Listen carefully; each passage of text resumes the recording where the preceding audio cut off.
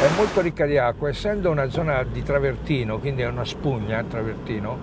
e poi eh, assorbe molto d'inverno durante le piogge e poi tutte le estati l'acqua esce da, da questi fontanili.